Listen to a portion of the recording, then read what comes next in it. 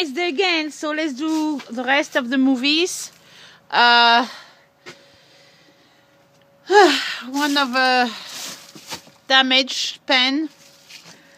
Uh, this one not well, it's pain, but this one I really don't uh, care because it's uh, for my dog. So you know, I don't. Uh, it's not so bad. You know, I'm not in rush. Whatever. Uh, it was a big, huge tree, and they were solid because we spent a lot of money in tree tree removal. Thank God, because would that be a disaster? And we have uh,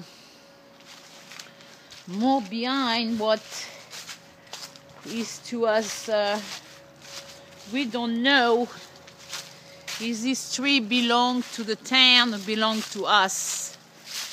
I really hope that they belong to the to the town.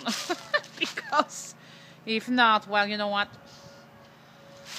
Uh, they're going to wait because there's no way I have the money to do that now.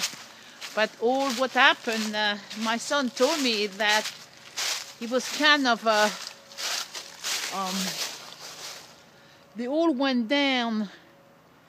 This one is absolutely huge. I don't know if you can